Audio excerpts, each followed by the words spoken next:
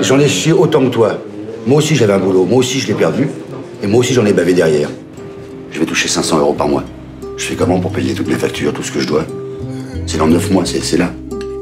Est-ce que vous pensez que vous seriez d'accord pour accepter une fonction en dessous de celle que vous avez occupée dans votre ancienne entreprise? Ah oui, je pense, oui. Bah, vous pensez, vous êtes sûr? Est-ce que vous avez envisagé euh, la vente peut-être de l'appartement? Oui, mais c'est non. C'est non Et bah, Pour quelle raison Ça serait comme si tout ce qu'on avait fait, c'était. Ça, ça, ça avait servi à rien.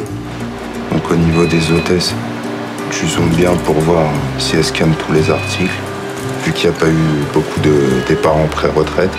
Donc il essaye de virer du personnel. Chacun choisit ce qu'il veut faire. Moi, je pense que pour ma santé mentale, je préfère tirer un trait, passer à autre chose. Est-ce que ça fait de moi un lâche Bon, qu'est-ce qui se passe C'est pas la première fois, madame Anselmi, que vous avez été filmé. J'en ai dit. Vous confirmez Oui, monsieur, vous confirmez. Thierry, vous confirmez